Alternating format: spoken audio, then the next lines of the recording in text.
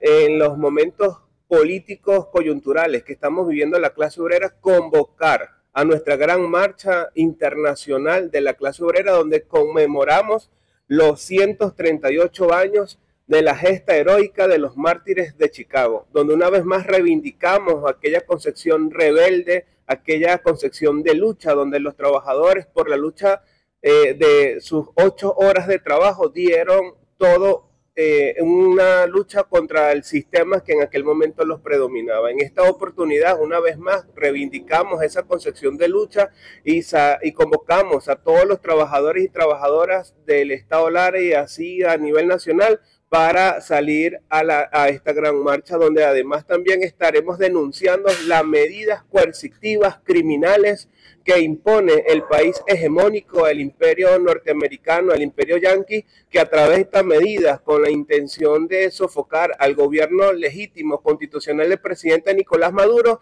pretende extinguir la clase obrera toda. Hoy cuando estas amenazas una vez se ciernen contra el obrero, salimos a esta defensa y esta marcha es un elemento principal, fundamental para denunciar ante el mundo las medidas coercitivas criminales que se ciernen contra la humanidad y contra nuestra nación en este momento a la clase obrera. Nosotros como clase obrera entendemos que el papel histórico que ha jugado el presidente Nicolás Maduro en el desarrollo de la política de protección de los trabajadores en cumplimiento de la constitución y en lo que establece la ley orgánica del trabajo en su artículo 111 este, establece sus competencias y sus facultades para poder hacer el debido incremento salarial. Nosotros estamos proponiendo de la federación que sí hay dinero acumulados en las riquezas a través de las altas esferas de la burguesía, que se han jugado, se han servido de la situación de crisis para enriquecerse, para sobreexplotar a los trabajadores